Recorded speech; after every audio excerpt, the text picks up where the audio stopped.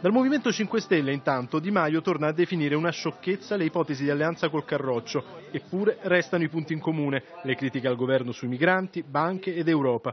Il movimento però frena sul referendum per uscire dall'euro. Sarebbe solo l'extrema razio, spiega Di Maio. Bisogna prima provare a ridiscutere punti come il fiscal compact e gli eurobond. La nostra linea economica è sempre chiara, coerente e orientata agli italiani. Il referendum sull'euro è parte di un percorso che prevede soprattutto il superamento dei vincoli e del fiscal compact, perché siamo per un'Europa che aiuti i cittadini e non semplicemente la finanza o i banchieri di turno. Concluso